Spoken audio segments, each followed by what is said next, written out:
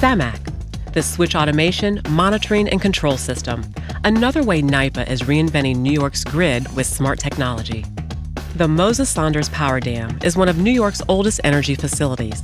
Commissioned in 1958, Robert Moses oversaw its construction, and today it generates 912 megawatts of electricity for New Yorkers.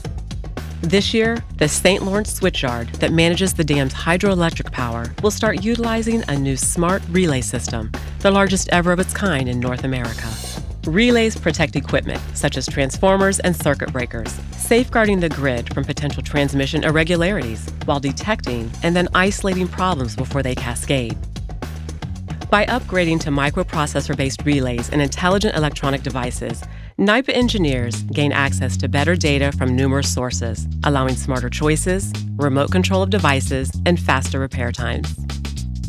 For the energy consumer, this means consistent, reliable power and savings thanks to more efficient maintenance.